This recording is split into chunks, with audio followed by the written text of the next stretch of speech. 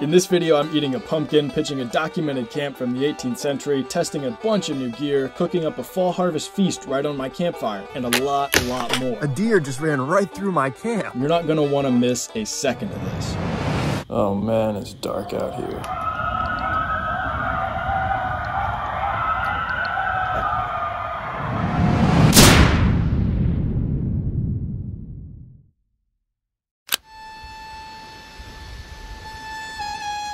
It's ironic to me that fall, nature's season of death, is always the time of year that brings the most growth in my personal life, and that includes this hobby. Since my last video, I've spent more than $1,000 on new gear, and it's led to some giant leaps forward in authenticity. But the biggest leaps forward have been my college graduation, my new job, my new place. You know, I really appreciate this community because some of you have watched me grow from age 18 to now stepping off into real, true adulthood the times you've looked past year-long gaps in content, you've still checked in on me on social media and here in the comments section. I can't tell you how much I appreciate that.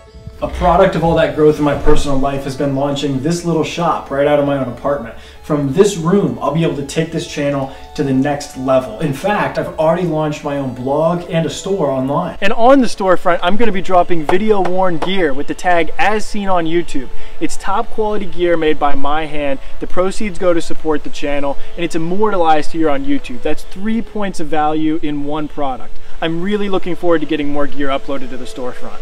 But besides the store, like I said earlier, I'm launching my life. I've got a dream job, my first place, and I'm loving these first steps into adulthood. Now for this camp, I'm running a new bedroll system and I'm really excited about it. It's largely dependent on these. These are hand-woven wool blankets by Rob Stone. They'll be paired with this buffalo hide here. Now if all goes well, this is the same bedroll setup that I will then carry into my winter camp in another few months. I'm really looking forward to getting out in the cold, wet, nasty Ohio wintertime and pushing myself in those low temperatures the same way that guys would have been doing in the 18th century. They couldn't choose the season, they couldn't choose the weather the way we do today. These blankets are going to open up half the calendar year to my being able to get outdoors and pursue this hobby in an accurate manner. There's so many people that mark off those months as time to sew, time to work on their outfit for next year. Not me. We're getting out there. We're going to stay in this mode of continuous improvement. I don't want to lose momentum as it starts to get cold out. I've shared a gear review video before, but I haven't ever shown how it all comes together. The first step is laying out your bedroll. For years I've used a piece of oilcloth, and a lot of people do, but lately I've been trying to cut this out of my kit because I don't think having oilcloth is feasible for most Frontier characters. It seems like a reenactorism that's kind of crept in on us. For this camp I'm using my buffalo hide, and truthfully, a blanket is all that most guys had, so if that's all you've got, you shouldn't feel bad about it. Fortunately, I've got three new blankets to test out, so I'm adding those next. And now it's time to start getting organized. These are market wallets. They're kind of like the plastic bags of the 18th century. They're super common and really easy to make. Carrying two market wallets allows me four main sections to pack in. The first is for dry foodstuffs and for my mess kit. The second is for wet foodstuffs, if applicable. And I'm adding my canteen to round out the necessities of food and water. Now, second to those, my biggest priority is my feet. My third section is for my extra moccasins and my spare socks. Finally, I've got some other gear that I won't need during my hike in, like my journal, an extra fire kit and a candle, my leather patching kit, and my Hussif sewing roll. And now it's time to get accessorized. My tomahawk, powder horn, shot pouch, and some documentable accoutrements that go inside are all going to get laid out. My belt and knife will join that pile as I start to lay out the clothes that I plan to actually wear on my person, like leggings, garters, socks, moccasins. I've got to think pretty critically about what I want to take based on the weather. You'll notice that I kicked my mittens and hat into the market wallet with my socks. And with everything laid out, I'll sweep across the gear in an initial mental checklist to make sure that I've got everything, and then I'll actually pack. My market wallets absorb most of my gear, and anything that I'll carry on my person goes into a basket for easy access once I get on site. Any clothing that I'm not wearing but still want with me gets tucked into the bedroll. I'm trying to even out the weight and mass of these market wallets for a good tight roll. In this case, I'll end up rolling my gear a few times. You want this as tight as possible so that you're not suffering under a saggy bedroll on the trail. It's totally okay to take a few minutes to rearrange and tighten things up now so that you don't have to do it later on in the woods. You'll notice that I roll the end of my buffalo hide into itself to help keep rain out, but it's mostly out of consideration for ticks, which could otherwise crawl directly into my bedding if I set my things down. And last, I'll do one final check among all the gear that I didn't already pack. In this case, I found my turn screw and vent pick in my shooter's box and put those inside my shot pouch. I caught daybreak on the road the next morning and made it to the forest just after sunrise. It's peak leaf weekend in the Hocking Hills region of south central Ohio, almost Appalachia. This was the proud home of the Miami and then the Shawnee and later frontiersmen. It was paid for by both sides in blood. I'm fiercely proud to call Ohio my home, and it truly is an honor to camp on this land, especially during hunting season, mind you, where I'm safe from hunters without having to wear blaze orange thanks to this being private property. I owe a huge shout out to the property owners. Thanks, you guys.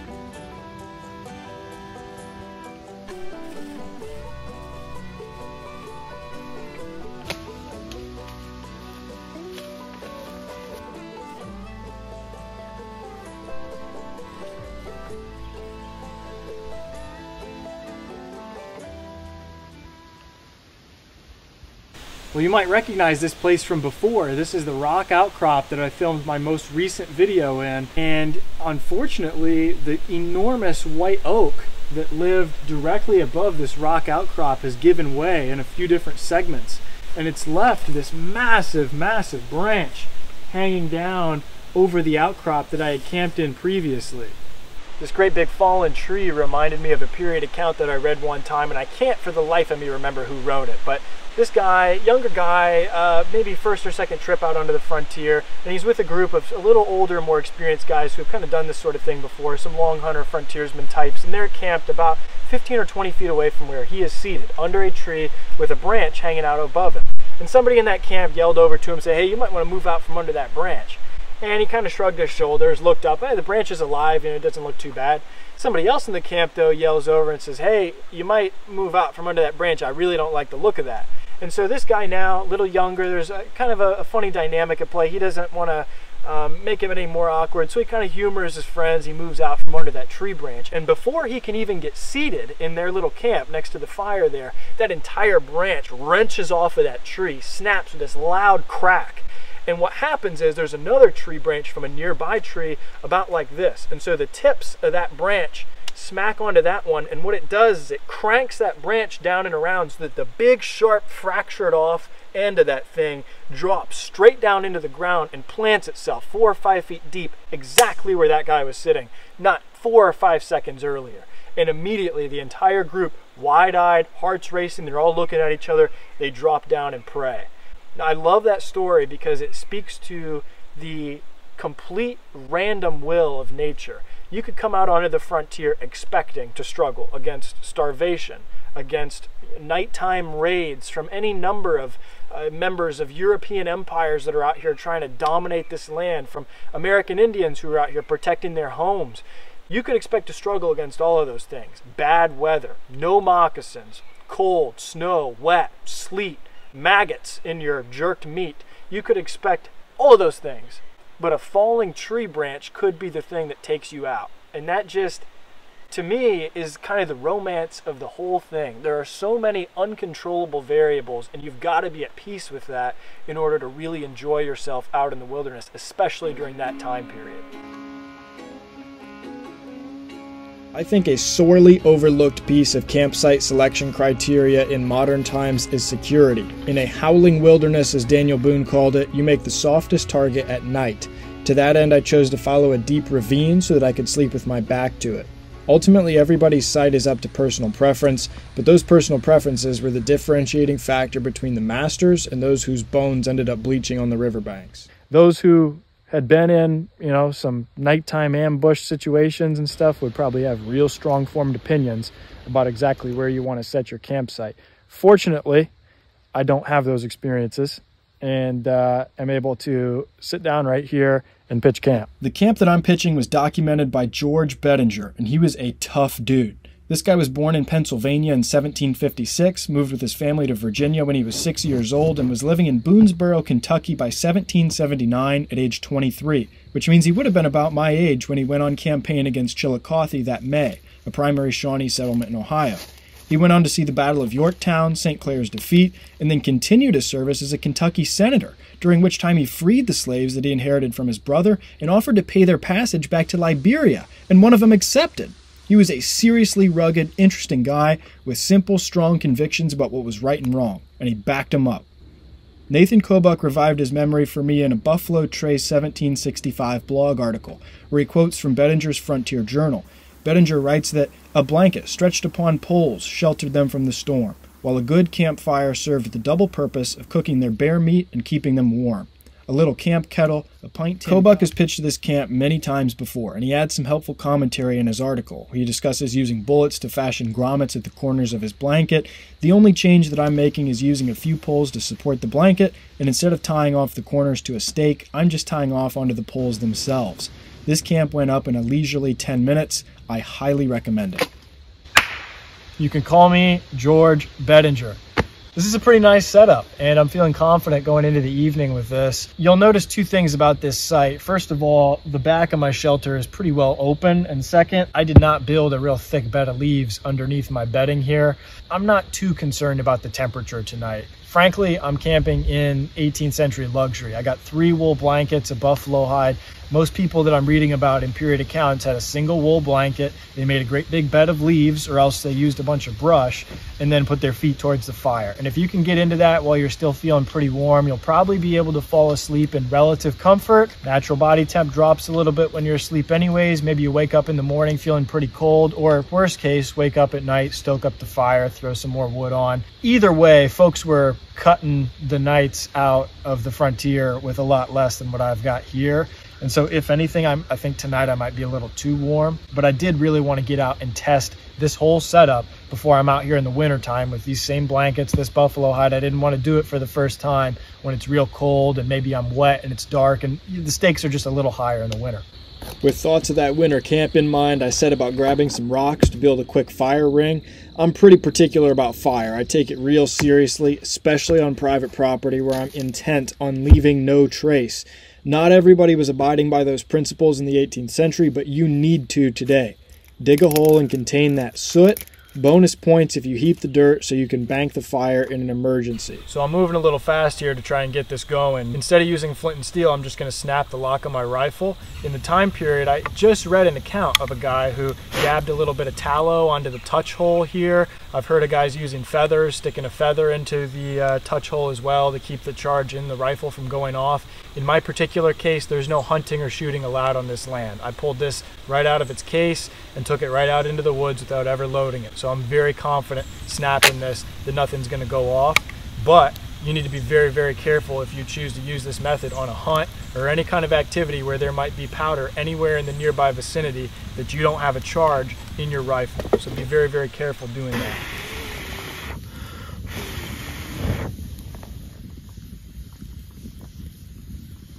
I don't have a period correct axe yet, so I'm using the fork in these two trees to break up as much hardwood deadfall as I can find to get a good hot bed of coals.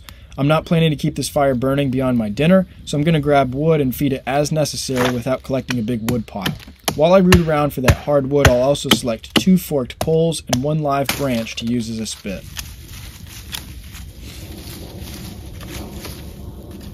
So it's finally time to eat. I've got a pumpkin, a sweet potato, an onion, an ear of corn, uh, four apples, a pear. I got this squash here, as well as flour, some chocolate, some tea, some of the basic 18th century items that I usually carry. Uh, but maybe most importantly and most exciting are these two big buffalo steaks. I'm really, really excited to cook some buffalo over the fire. Ohio used to be full of buffalo. Some folks call them woodland bison today, I think is the proper scientific term for them.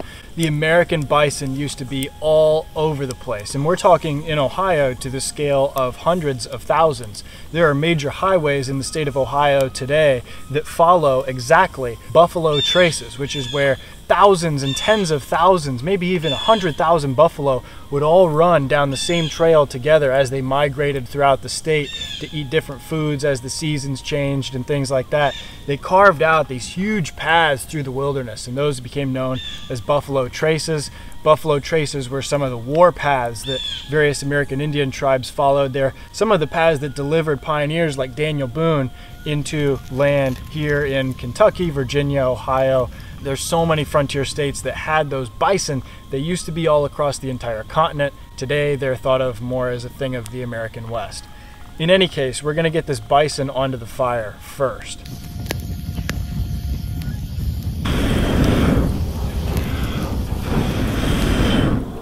With my first round of buffalo over the flames, I turned my attention to carving this pumpkin for a pumpkin soup.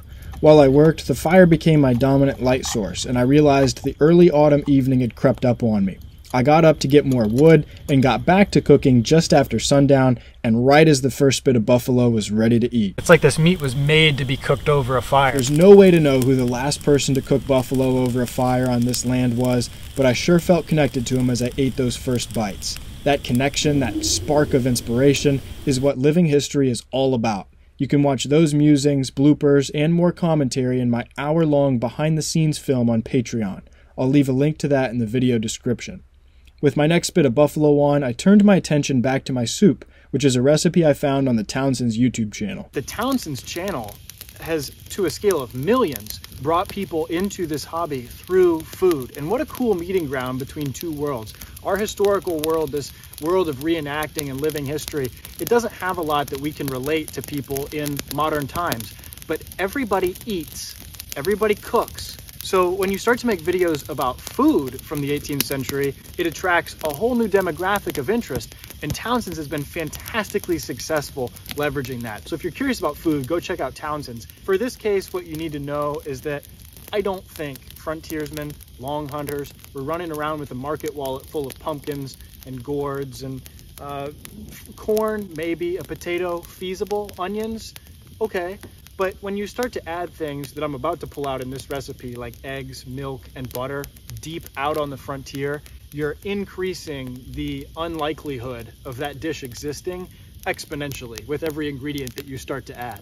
So you have to suspend disbelief here. This is something I saw on the Townsend's channel that really just lit the fire in me. It made me want to give this a shot. So I've got a pumpkin here and I have hollowed it out. Uh, pop the lid off like you would with a jack-o'-lantern. And I took the guts and things and put them into my new kettle from Hot Dip Tin. And um, I'm just gonna add a little bit of water to this. And my intention, and you know, per directions from the Townsend's video, is to bring this up to a good boil. And then I'm gonna let this boil down into almost a marmalade. Just, just pure pumpkin and water together. While that heats up, my corn, onion, sweet potato, and squash are going into the fire. For every fresh vegetable that I toss onto the coals, this meal gets exponentially more unlikely. Then once my pumpkin boils down, I'll be adding milk, butter, and egg yolk, which pretty much totally rules out this dish for a frontier campfire so meal. now I'll stir those in. This fall feast might not be perfect for this time and place in history, but the kettle that I'm preparing it with is. This is the small size Wapatomica kettle sold by Hot Dip Tin. It's a three cup kettle based on an original excavated at Wapatomica, a Shawnee village in Ohio where Simon Kenton famously ran a gauntlet in 1778, located only an hour from where I'm camped tonight.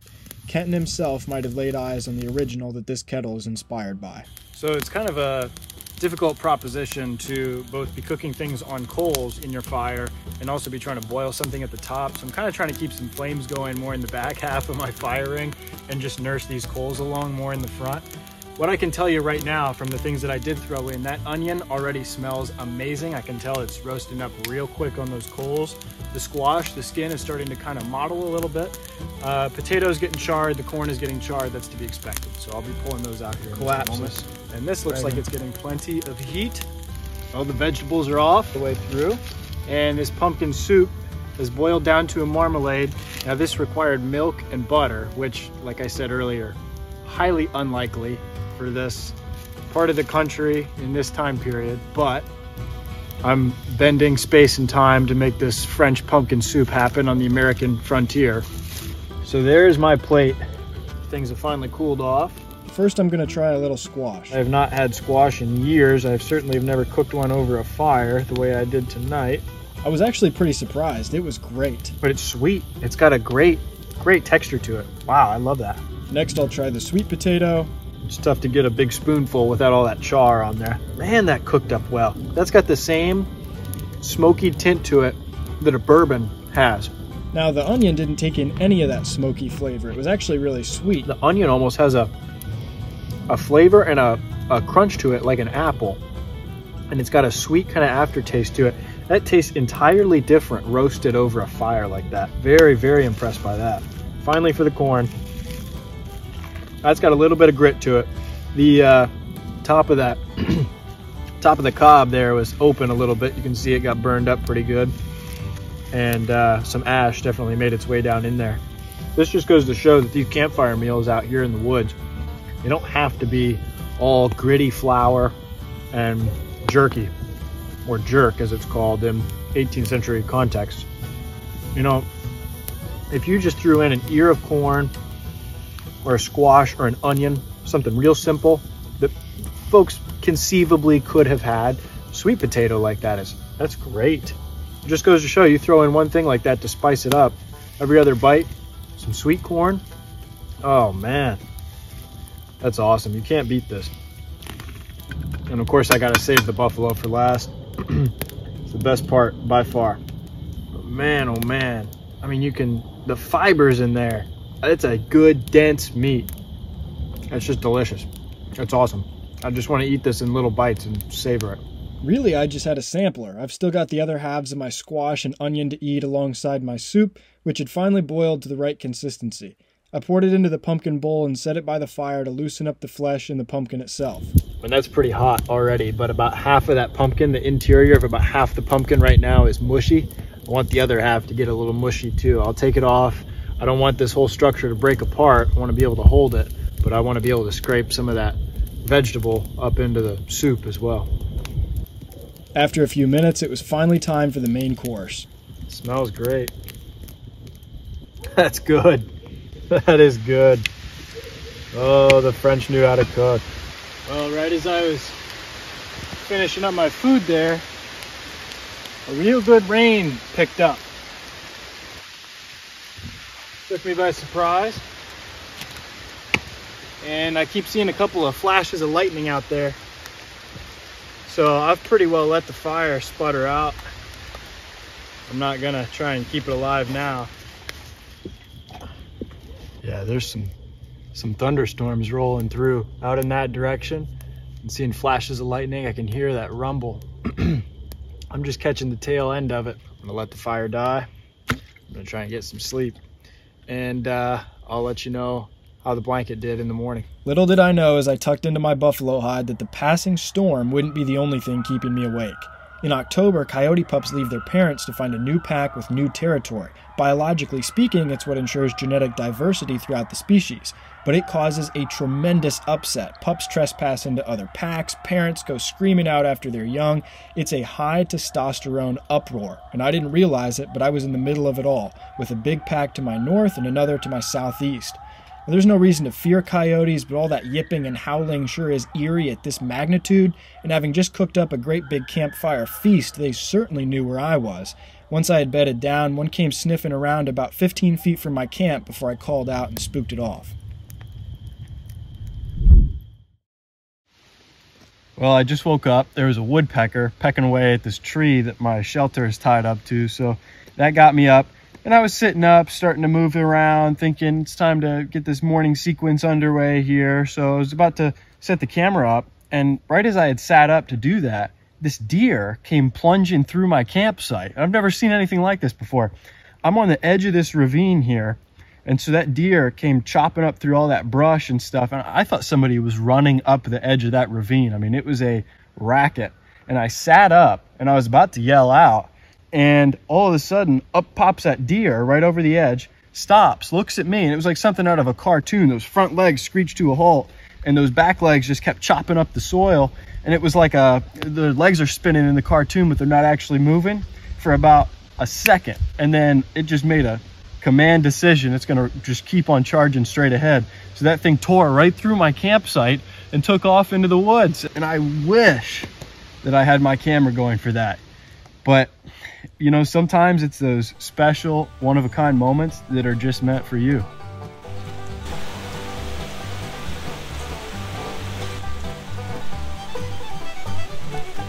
Well, I heard a quote one time, your gear is only as good as it helps you sleep. And that stuck with me. It bounced around in my head for the last couple of years. And if that's true, then my gear is pretty darn good because I had a great night in the George Bedinger camp last night. I'm real happy about some recent purchases I've made when it comes to 18th century gear.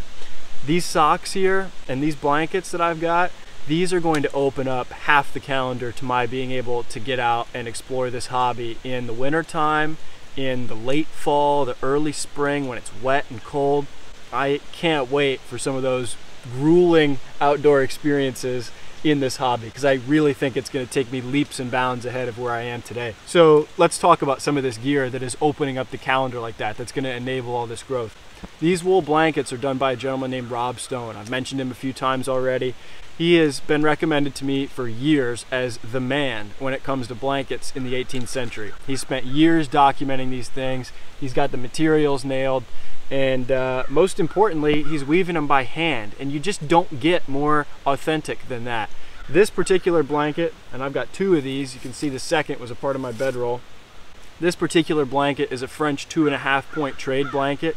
Would have been authentic for about this region and this time period. Uh, and then I've got what he refers to as the trade duffel here that my camp is pitched under. These are what's going to enable me to get out into the wintertime, but it's not just the blankets, and the blankets wouldn't be enough to do that. There's a little bit of other equipment that you gotta have, and if you can get it in wool and you can get it handmade, authentic to the time period, documentable, you can really, really level up your gear.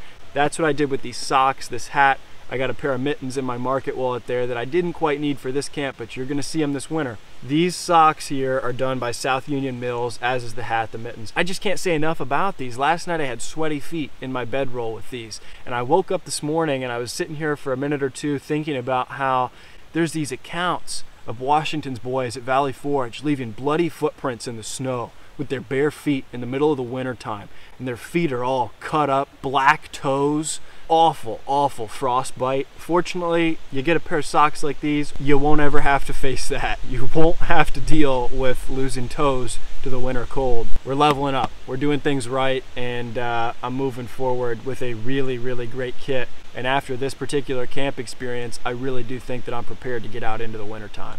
So, I was only comfortable in this camp because I had the right gear to stay warm. Blankets, socks, mittens, and a hat the shelter wasn't doing me any favors, and it certainly would not be my top pick in the wintertime, but it did just fine for the fall, and I'm excited to give it a shot in the summertime and maybe under some spring rain, because most importantly, it kept the water off. I don't necessarily like the fact that had it rained harder, I would have been lugging around a wet mop the next day. You should always try and keep your wool dry, but barring any kind of natural shelter, at least I would have gotten some good sleep. There are a couple of things that I could have done differently. I could have dropped the back down to keep the breeze out. It actually ended up helping me in this case because I had to cool off throughout the night. And having a proper bed of leaves underneath me would have also kept me warmer, but it wasn't really necessary because of the high temperature on this camp. More poles could have been preferred in a real storm because as the blanket got a little damp on the outside, it started to sag, and when I woke up, it was brushing my face, but it didn't have much impact on a mostly dry night. And so all in all, this was a really pretty comfortable setup, and most importantly, it's historically accurate. Let me give one more big shout out to Nathan Kobuk. You could spend years reading pretty boring source material looking for little nuggets like the description of this camp, but guys like Kobuk save you that time and help that interesting stuff percolate to the top for the betterment of everybody in the hobby. If you haven't seen the Buffalo Trace 1765 blog, you've got a lot of reading to catch up on. Well, there's some other things that I would really like to talk about. One of those is authenticity. I've spent the last really two or three years of my college journey working really hard to improve this kit. I've spent a lot of time in actual period sources, which I can't recommend enough. But more importantly, I've sought out mentors who have a lot more experience than I do. At times, I've paid money to go to classes like the NMLRA gunsmithing seminar at Western Kentucky University. I was fortunate to get a university grant to attend that seminar where I built this flintlock. There are all kinds of different avenues that you can take to improve your gear. And if you really start to intentionally work towards improving your kit and making sure that you are as authentic as you can be, you also run the risk of working so hard to become good at this hobby that you no longer enjoy it. And I think that that's true for a lot of things. I think that it's true for different people in this hobby. There really seem to be three demographics. There are those who are perfectly willing to wear modern shoes, for example, as a compromise for comfort when they're out in the woods that might otherwise wear a pretty authentic kit. There are those on the other extreme who are hand sewing everything, who insist on producing almost all of their gear by their own hands so that they can ensure that every variable was not only done with the correct materials but was also done in a period correct fashion. And then there are people who are more in the middle, kind of like myself, who have made some compromises where it seems reasonable. In my case, for example, this hunting shirt is machine sewn by an actual seamstress who knew what they were doing. This is better quality than I could have produced at the time that I bought it, but it still is not completely perfect for the time period being machine sewn and when you start to really dig and start looking around at the gear you can see that this was done on a sewing machine. But some of my clothing is hand sewn my moccasins my leggings. I've collected a couple of things like these garters that are really top quality done by fantastic artisans. This flintlock is very accurate to the time period. Wallace gusler helped me build it. There are all kinds of funny compromises right now with my gear, my equipment. And I'm slowly moving towards the meticulously perfect, hand sewn, absolute pinnacle, best that I can be in this hobby. But I'm intentionally moving slowly like I said earlier, I don't want this hobby to become something that is excruciating for me to have to go out into the woods and film a video. I want to be happy when I'm out here. I want to go to sleep with a smile on my face. I want to wake up excited to be in front of the camera sharing some of the insights that I gained while I was you know testing new gear the day before or while I was sleeping in new blankets that night. I really want to preserve this excitement. And to do that, I'm very slowly moving forward. There are not going to be giant leaps really beyond this point in authenticity. I might hand sew a shirt in the near future. I might make a pair of breeches in uh, 18th century fashion and slowly begin to work my way towards complete authenticity. I don't want to do that too quickly. I don't want to rob myself of the joy of pursuing this hobby. If you've made it this far in this video, let me just say thank you. Start your comment with the word buffalo so I know that you made it to the end. And if you'd like to check out more from Frontier Trading Company, you can visit my new website, frontiertradingcompany.org. Thanks again for watching, and until next time, take care.